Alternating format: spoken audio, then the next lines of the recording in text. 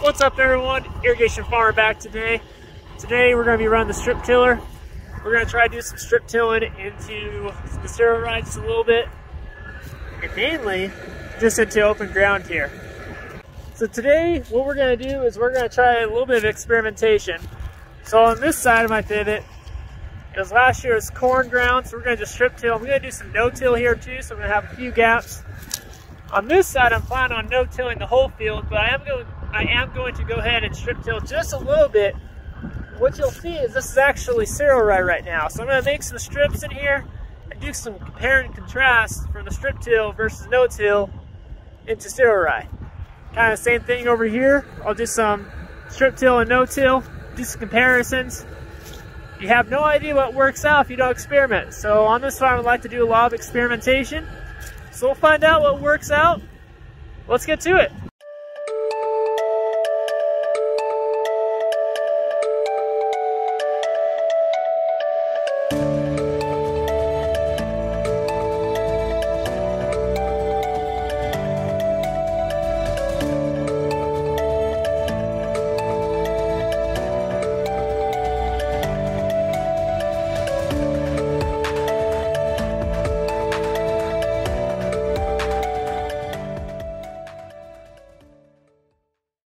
Alright, so inside the tractor here, so I got my guidance line set.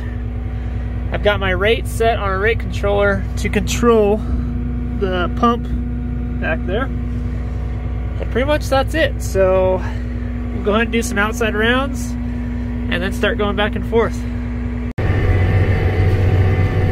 So this tractor really doesn't like to go across the rows. It's pulling pretty hard. Uh, strips aren't looking too bad, but right here, this is gonna be my test spot of no-till into this corn ground. I'm sure it's gonna be pretty hard, but we'll find out. We'll see how it does, comparative. And then once we get over there, I'll do the test strip. Ooh, doesn't want to focus. Come on, over there. There we go. Over there, I'm gonna do a test strip of strip till into the no-till field. See how it works out.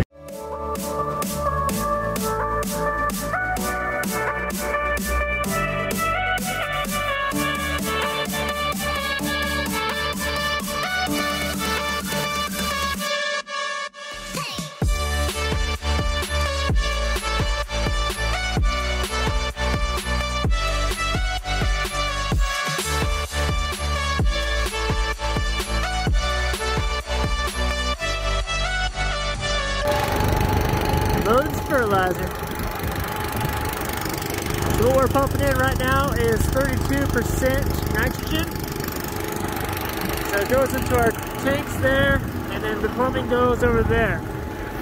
So I'm putting about 25 gallons per acre down. So not very much per acre, but you get about four pounds of actual nitrogen per gallon. Quick math. So yeah, works out really good for us. It's an easy system.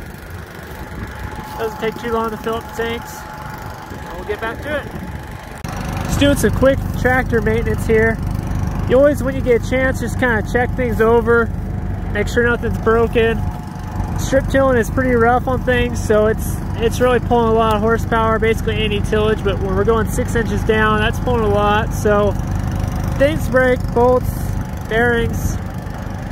So I always like to just do a quick check and make sure everything looks all right. Alright, so I jumped out. I just want to see what the difference looks like between the uh, Rye strip till and the other side here.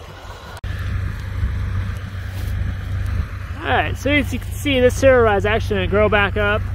Um, lots of roots in here, which is perfectly fine, but you know, actually looks pretty good. It's not bad at all. There's a few big clods. You don't really want to see this, but that's roots from previous stuff, so you're probably gonna see it. But it's chilling pretty nice, so that's good to see. Now let's go see what the other side looks like. So it looks pretty good from the top. You come down, um, still pretty good. There's a few bigger pieces.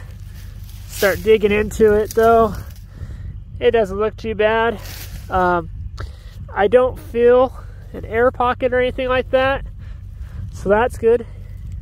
All right. Got earthworm there. I don't know if I chopped him or not, but stay, stay alive, buddy. So yeah, I mean, both of them are looking pretty good.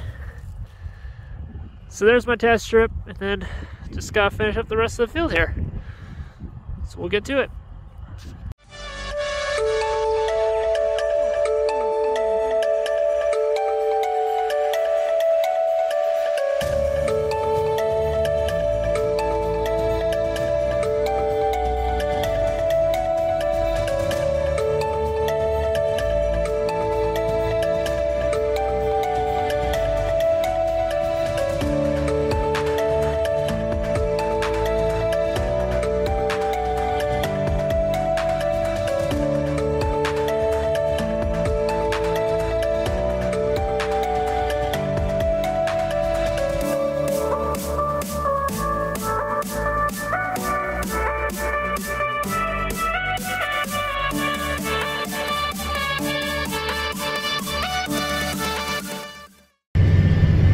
One of the big problems about uh, strip tilling and no-tilling is if you get to a rough field like this, kind of sucks to do. So, note to anyone else and note to myself, if you're ever going to start going into strip tilling and no-tilling, I'd suggest going and till it flat, which should already be.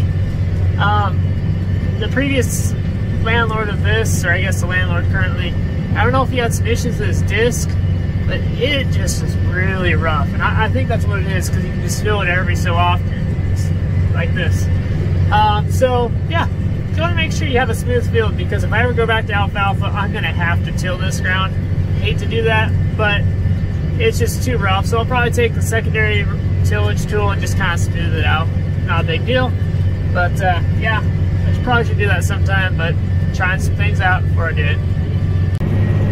Some of the reasons why we really like strip tillage, uh, one, it's kind of a different, it's medium between no-till and full tillage. So you're still leaving some of the existing ground alone. Two, you're using less passes because we can put down fertilizer and do tillage at the same time. So we do two passes. We do a strip till pass and then our planting pass. It saved us a lot on fuel and equipment because we don't have to have huge equipment for full tillage. We don't have to pay for that customly or do it ourselves and buy the equipment. So that's really nice. And then um, as I said, just the, the fuel itself, you know, run the tillage equipment is pretty expensive. Besides the expenses part, another big reason is the soil health part. Uh, we feel like we're increasing our organic matter in our area, as I've talked about plenty of times, is huge for us because we want to be able to increase water infiltration and water holding capacity. Since we don't get a lot of moisture, those two are critical on our farm and this area. So anything that we can do to increase that is really beneficial to us. Hopefully it works out. I mean, we're definitely seeing a difference, but long term, you know, that's why I'm making some changes to try to see what else I can do.